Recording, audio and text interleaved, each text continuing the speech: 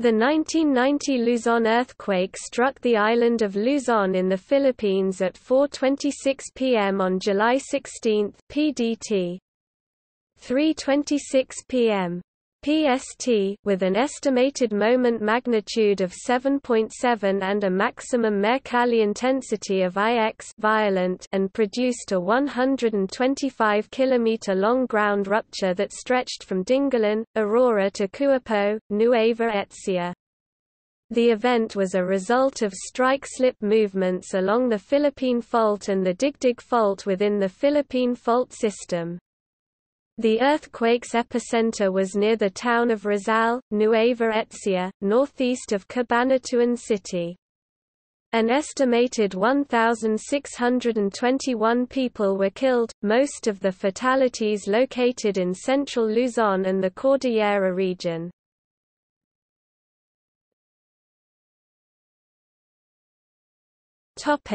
Impact The earthquake caused damage within an area of about 20,000 square kilometers, stretching from the mountains of the Cordillera Administrative Region and through the central Luzon region.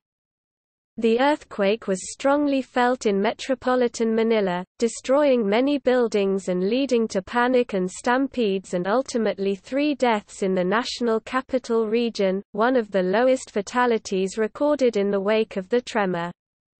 The southern Tagalog nowadays regions 4A and 4B and Bicol regions also felt the quake, but with low casualty figures.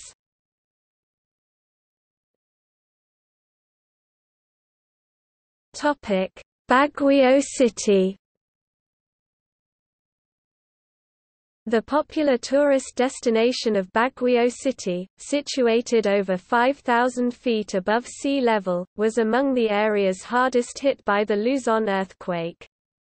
The earthquake caused 28 collapsed buildings, including hotels, factories, and government and university buildings, as well as many private homes and establishments.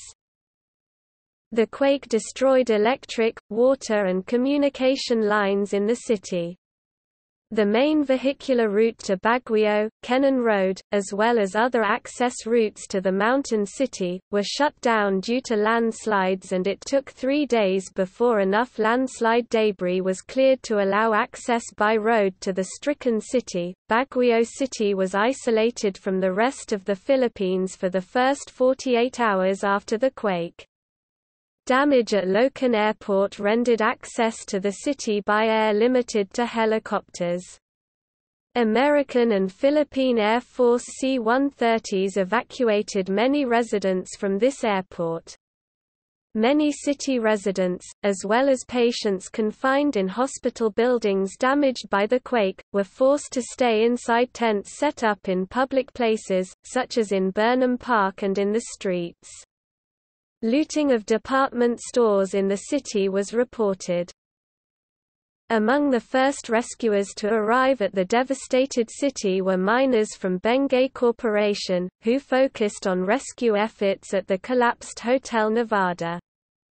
Teams sent by the Philippine government and by foreign governments and agencies likewise participated in the rescue and retrieval operations in Baguio City. One of the more prominent buildings destroyed was the Hyatt Terraces Baguio Hotel, where at least 80 hotel employees and guests were killed. However, three hotel employees were pulled out alive after having been buried under the rubble for nearly two weeks, and after international rescue teams had abandoned the site convinced there were no more survivors. Luisa Mallorca and Arnel Calabia were extricated from the rubble 11 days after the quake, while hotel cook Pedrito DY was recovered alive 14 days following the earthquake. All three survived in part by drinking their own urine and in DY's case, rainwater. At that time, DY's 14-day ordeal was cited as a world record for entombment underneath rubble. The United States Agency for International Development was sponsoring a seminar at the Hotel Nevada when the tremor struck, causing the hotel to collapse. 27 of the seminar participants, including one American USAID official, were killed in the quake.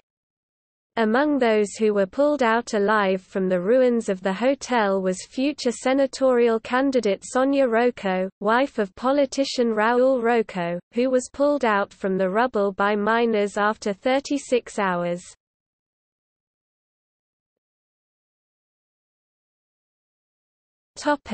Cabanatuan City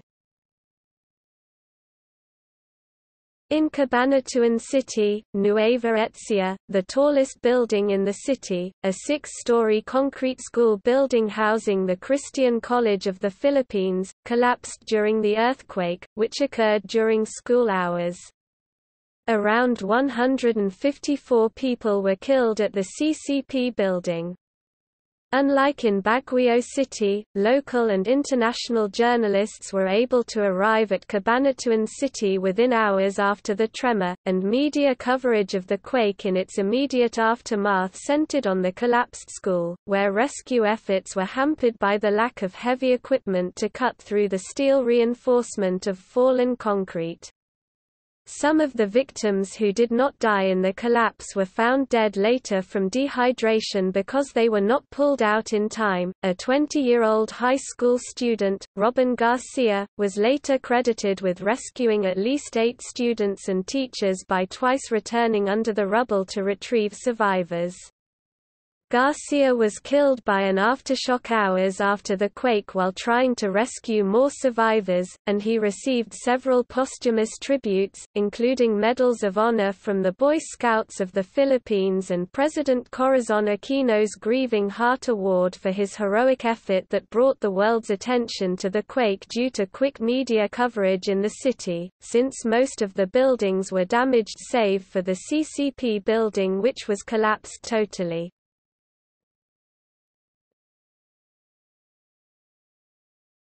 Topic: Dagupan City. In Dagupan City, about 90 buildings in the city were damaged, and about 20 collapsed. Some structures sustained damage because liquefaction caused buildings to sink as much as 1 meter 39 inches. The earthquake caused a decrease in the elevation of the city and several areas were flooded. The city suffered 64 casualties of which 47 survived and 17 died. Most injuries were sustained during stampedes at a university building and a theater.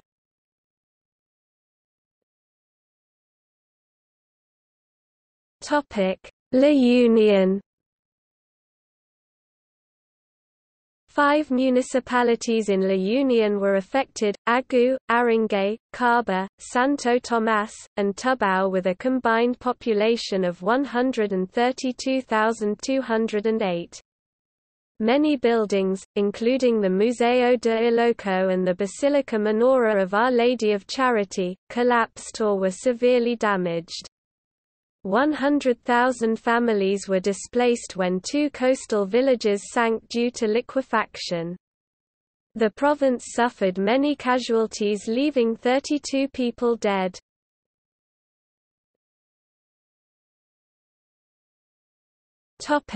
Patterns of damage Based on preliminary analysis, cases and controls were similar in age and sex distribution. Similar proportions of cases and controls were inside buildings 74% and 80%, respectively and outside buildings 26% and 20%, respectively during the earthquake. For persons who were inside a building, risk factors included building height, type of building material, and the floor level the person was on. Persons inside buildings with seven or more floors were 35 times more likely to be injured. Persons inside buildings constructed of concrete or mixed materials were three times more likely to sustain injuries than were those inside wooden buildings. Persons at middle levels of multi-story buildings were twice as likely to be injured as those at the top or bottom levels. The earthquake caused different patterns of damage in different parts of Luzon Island. The mountain resort of Baguio was most severely affected, it had a high population density and many tall concrete buildings, which were more susceptible to seismic damage. Relief efforts proved difficult as all routes of communication, roads, and airport access were severed for several days following the quake. These efforts were further hampered by daily rainfall. Baguio is home to a large mining company and a military academy. Experienced miners and other disciplined volunteers played a crucial role in early rescue efforts. Rescue teams arriving from Manila and elsewhere in Luzon were able to decrease mortality from major injuries. Surgeons, anesthesiologists, and specialized equipment and supplies were brought to the area, and victims were promptly treated.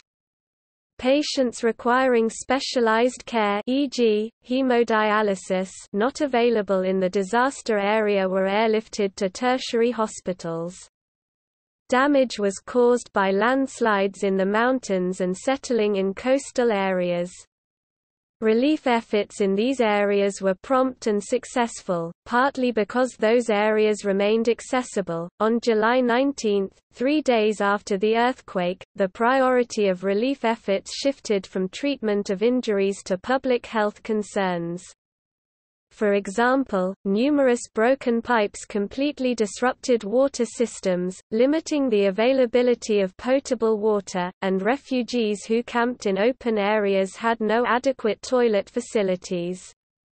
Early efforts at providing potable water by giving refugees chlorine granules were unsuccessful.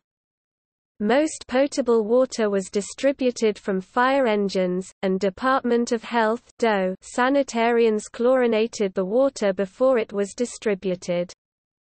Surveys of refugee areas showed few latrines, these had to be dug by the DOE.